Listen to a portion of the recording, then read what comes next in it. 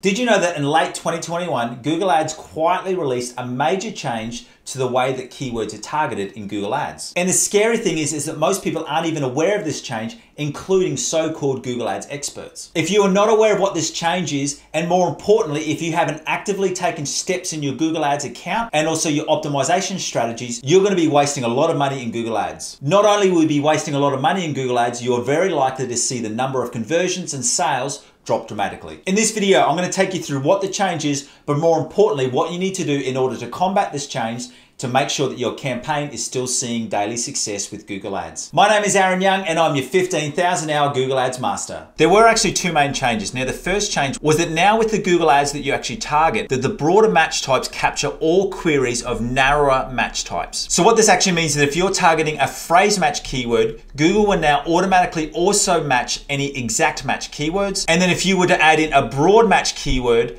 in your Google Ads account, it would automatically target phrase match and exact match keywords. The reason for why I highlighted this change is that three to five years ago, it was quite common practice for that when you would set up a Google Ads campaign, is that you would set up a separate ad group for your broad match keywords. You would then also set up another ad group for your phrase match keywords, and then you would also set up another ad group for your exact match keywords. But with this change in the targeting, that is now no longer required. Also, it is now not also required to put broad match, phrase match, and exact match keywords keyword to the same keyword in the same ad group. So what you want to do now, if you only want to target that exact match keyword, you would just place it in as an exact match and no other keyword types. And if you wanted to have a bit more of a looser or a broader match, you would just put that keyword down as a broad match keyword and then you wouldn't have to go back and add in either phrase match or exact match keywords in that ad group. And the second change and the more important change is that exact match keywords are actually no longer exact match. And that is because Google Ads has expanded the targeting of exact match match keywords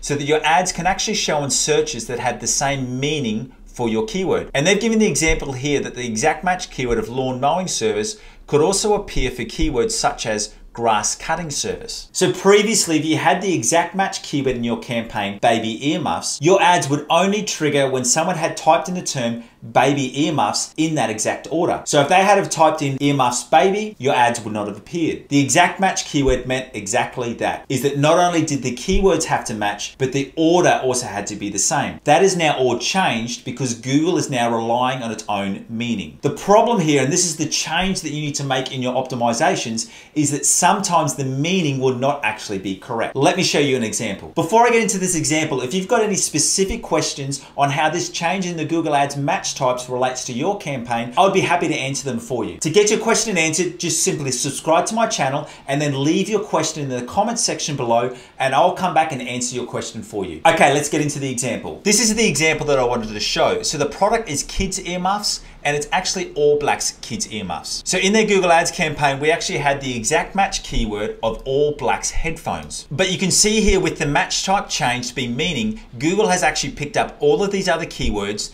to mean the same thing as All Blacks headphones, including All Blacks merchandise, All Blacks onesies, All Blacks rugby, All Blacks rugby jacket, and you can clearly see that this is something that we are not offering on this website. And further than that, it's got nothing to do with this individual product or the target market that we're looking to attract. So now in Google Ads, if you've got a highly specific product and a highly specific target market where you want to only be targeting search terms such as All Blacks headphones, what you need to do is you actually need to go through and do a search term audit every seven days. Now to complete your search term audit, you want to go into the search term section. I'll just remove this filter and you can see from here, we're now seeing all of the individual search terms that triggered our ads. And then from here, it's just a matter of going through this list line by line and picking up any other keywords that we don't want our ads to trigger for.